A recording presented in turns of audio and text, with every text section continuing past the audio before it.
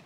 Vamos aqui à bancada. O Vila quer falar sobre a questão dos aposentados, né, Vila? É, porque muitos Aumento aposentados... sempre é, pífio, né? Sempre pífio nos assistem, passam... E é, é aquela coisa terrível, porque você vai demandar cada vez mais o sistema de saúde, a compra de remédios, todas as dificuldades que passam os aposentados e tal. E eu, eu hoje mesmo ouvi uma notícia que o Conselho Nacional de, Ju, de Justiça cancelou parece piada, o auxílio moradia de juízes aposentados e pensionistas em Mato Grosso. Quer dizer, recebiam lá em Mato Grosso os juízes aposentados auxílio moradia. Mas não só os juízes aposentados, que já é um escândalo, os pensionistas de juízes aposentados.